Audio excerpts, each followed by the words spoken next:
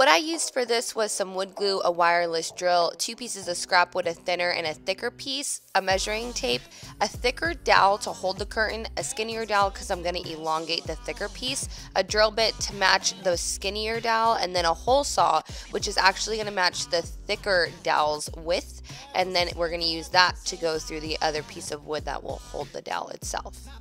I am actually going to be using some scrap wood for my workshop, so I spent nothing on this, and the thicker, thinner piece will be the back of the curtain that holds this thicker, shorter piece, which will hold the actual dowel itself. I cut two 8-inch pieces of that skinnier, wider wood that's going to be the backing, and then two 3-inch pieces of the shorter, thicker wood that's going to hold the dowel. We are going to drill with that hole saw through the smaller piece and then attach it to the larger piece.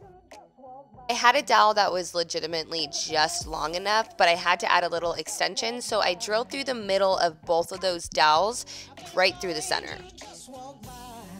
That skinnier dowel is going to attach the two pieces, so I just added some wood glue within both of the holes, and then on one of the sides I added a lot of wood glue and then shimmied it all together.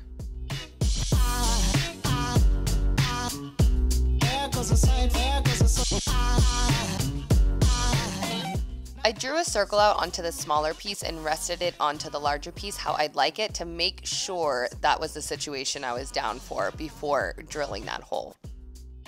When working with this drill bit, it does kick back, so you want to make sure that you're clamping it down nice and tight. Go ahead and drill the hole and it should look something like this, and you can just use a piece of sandpaper to smooth out the inners. I used my orbital sander to sand down all the wood, but this is a project that you can actually just sand it down by hand. I used a 120 grit for this. To attach these pieces, I'm going to be using some wood glue, two screws, a tape measure, my wireless drill with a good old fashioned Phillips head drill bit. Once everything was sanded, I placed my smaller piece where I wanted it, added some wood glue, and then flipped it over and pressed it firmly against the back wood. And then I just used that tape measure and made sure everything was even on all sides. I then flipped the entire thing over, resting it on the smaller piece, and made sure that my screw is going to line up with the thicker piece of the smaller wood so you're not drilling through the hole, obviously, because you want to have some space for your dowel. And that is all, you guys. How absolutely rad does this look? I'm so pumped because it totally goes with the aesthetic of my office. Obviously, you're going to repeat that same process for your second one, and now we're going to install. I am going to be covering up this window and while the natural light is awesome, the direct sunlight is intense when I'm working there. So I just took my stud finder and thank goodness I found two studs equidistant from like the side of the windows that I can just drill the piece directly into. I took two longer wood screws and drilled directly through the actual backing of that curtain rod situation into the stud.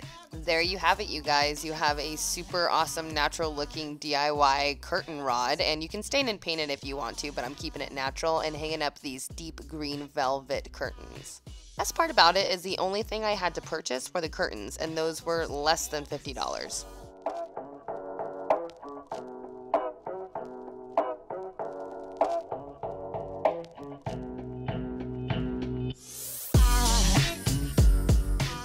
I hope that you guys enjoyed this quick and easy DIY curtain rod tutorial. If you did, give it a thumbs up. I will see you Sunday for another DIY. Thanks for the consistent love. You guys are the best.